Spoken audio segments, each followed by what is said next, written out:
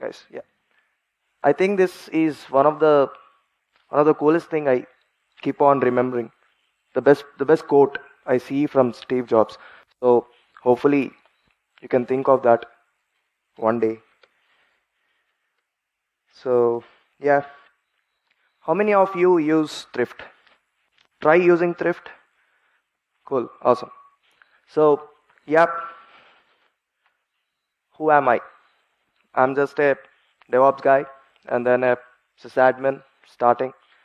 And then I'm a so-called cloud engineer. I do programming and stuff. Yeah. So topic, thrift.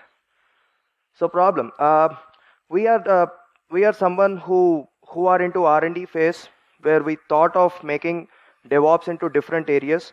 Like uh, you have something that you know uh, every every every stack stays on one programming language, and every uh, there are so many different programming languages around. So how does a DevOps guy keeps a keeps a keeps a hold on everything to get it combined together and get a stack? Okay, so so we thought of like you know one we once we started with Flask, we thought of making some automation.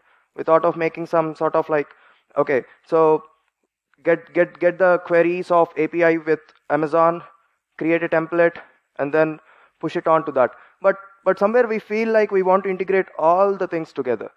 So so then what we thought of like okay, not the Flask, let's go with a lightweighted thing. So we thought of going up with Node.js.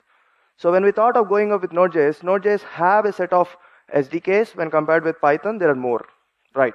So, but some of the Python SDKs, I mean Python libraries, handle some of the major things like CloudFormation, Troposphere, So the template formation and all. Uh, in, in, in Node.js, there's nothing is there like that. So what we thought like, we send the params through the one programming language to the other programming language so that we get a template created, save it in the database, get the template back, push it on from the SDK API through Node.js and spin up your instance. This was one of the logic we have initiated in it. So, so then we thought like, yeah, so we do an RPC call, hey, ping, and the, and the other uh, language say pong. So this is what happens there. So then we used Apache Thrift for that. So, so Thrift is Thrift is an interface, you know, interface definition one, language which we use generally. One minute. Okay. So it it is yeah it is compatible with these programming languages developed by Facebook, and then next with uh, it I mean like Apache took over it. So this was the architecture. Like client have one particular code, server has one particular code. It generates a code, and then that particular code on top of your two programming languages, you call the definitions and then you run it. So let's take this is a sample template which I written in, in uh, Apache Thrift. Please. So so then we have this. This is the function, and uh, that is the variables. And then these are the exceptions you can write, and these are the functions again. So you generate the code like this. So thrift of that particular, you generate a code for PHP and then the Python.